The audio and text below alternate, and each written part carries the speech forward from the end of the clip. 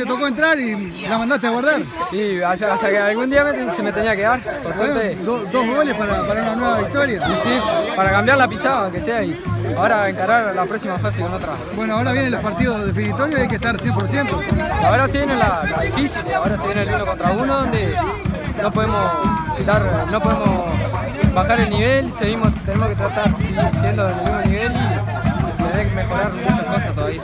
¿Cómo te encontraste? ¿Cómo te sentiste? Me sentí bien, por suerte, pues me encontré en la cancha, eh, encontré la pelota y tuve esos dos goles, por suerte que se me dieron.